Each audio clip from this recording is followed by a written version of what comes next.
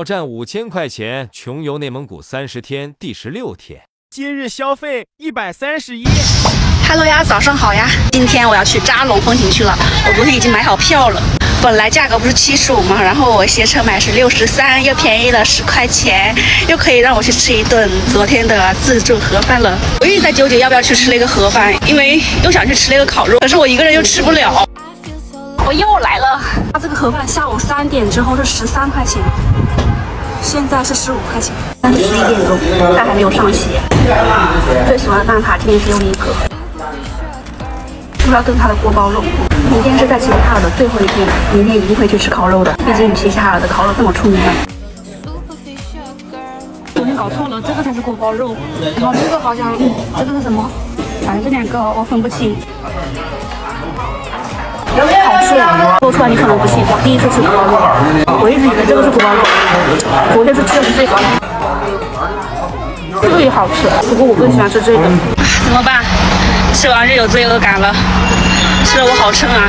那个锅包肉吃的我最多。现在去坐公交车去扎龙风景区，在这个天成集团这个门口这一等，大润发到扎龙三零六站点，可以坐一会儿。刚去买了一杯蜜雪，然后错过了十二点钟那一班车，二十分钟一班，等下一班吧。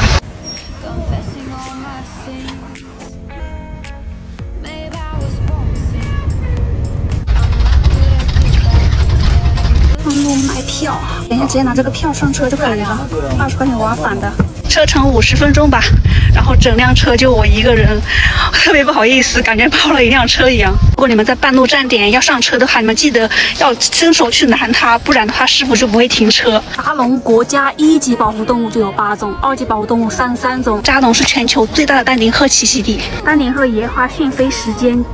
早上九点半、十一点，下午两点到三点半。景区开放时间七点半到晚上的五点钟，四点钟就不让进去了。咱们进去。门票提前两小时一张，请进。坐观光车。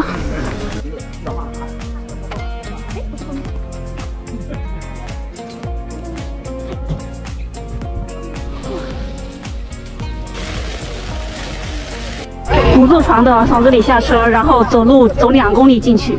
现在是一点二十分，差不多半个小时走到那边就是两点钟，刚好两点钟放飞，可以赶得上的。刚听导游说走那边会远一点，往这边走近一点。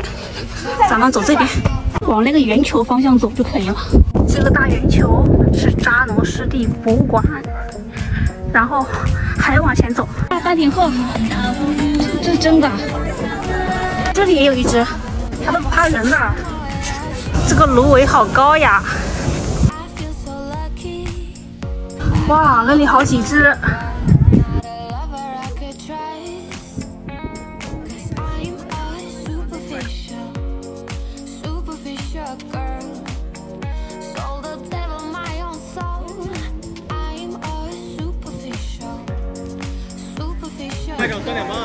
结束啦！现在两点钟的结束了，下一场三点半就飞了一下下，然后就一直在喂它们吃鱼。原来后面是有房子的，他们养在那个笼子里面。然后我们可以看这一大片芦苇，藏在里面都没人发现的。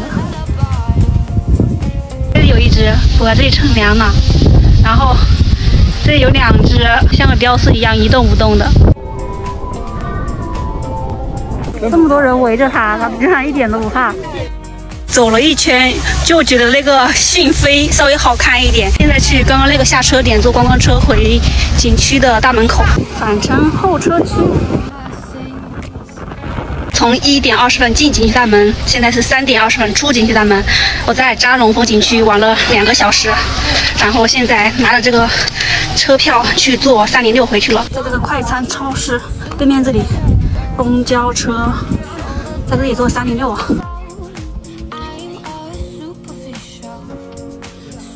还是在我们今天上午上车的那个天成集团那个门口下车。现在已经是下午的四点半了，我现在肚子还是好饱好饱好饱呀，感觉刚吃了没多久一样。然后今天晚上就不吃饭了，我现在准备走路回青旅了。那今天的视频就到这里了，拜拜。